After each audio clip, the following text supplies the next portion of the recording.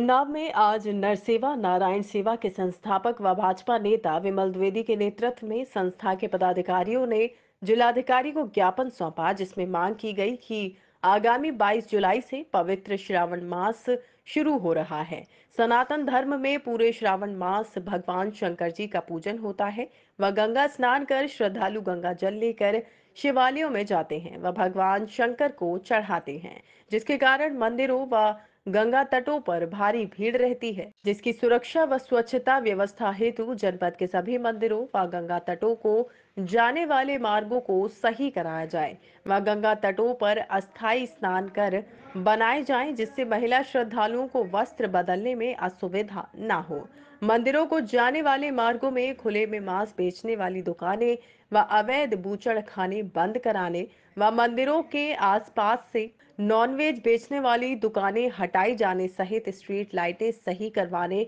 प्रकाश व्यवस्था सहित चूना डलवाने व मंदिरों में महिला पुलिस कर्मियों व सफ़ाई कर्मियों की नियमित नियुक्ति करने की व्यवस्था की मांग की गई। सबसे पहले आगामी जो 22 जुलाई से श्रवण मास शुरू होने वाला है, मैं सब पवित्र श्रवण मास की समस्त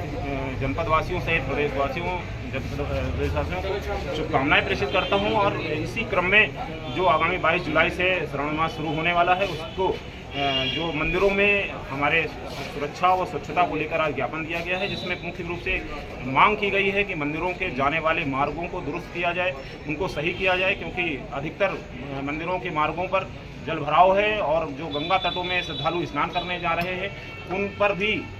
जल भराव की स्थिति है, वो मार्गों को भी सही कराया जाए व गंगा तटों पर महिलाओं के लिए अस्थायी स्नान गृह बनाए जाएँ, जिसको, जिससे महिलाओं को वस्त्र बदलने में कोई असुविधा ना हो और मार्गों पर स्ट्रीट लाइटें व प्रकाश की उचित व्यवस्था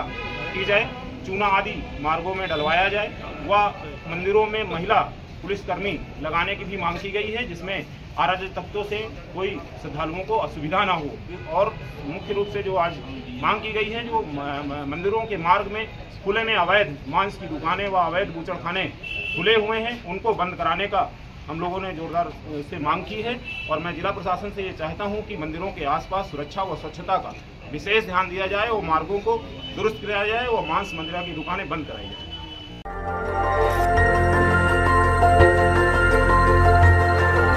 देखते रहिए डीबी भारती समाचार। नज़र हर खबर पर।